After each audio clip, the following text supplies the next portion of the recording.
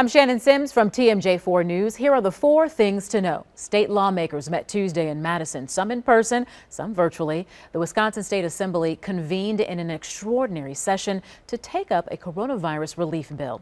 It would rush aid to parts of the state economically hit hard by the pandemic.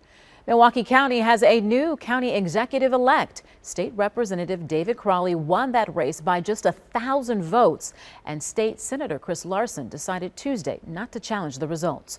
Crowley will be the first African American elected to the county's top job. The pandemic continues to have a huge effect at the pump, with some stations dropping the price of gas to less than $1 a gallon. Near Hal and Bowden in Milwaukee, we found gas at 99 cents per gallon. At Woodman's in Waukesha, 89 cents per gallon.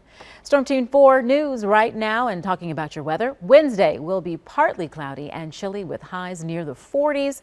The warming trend begins on Thursday with sunshine and highs in the mid to upper 40s.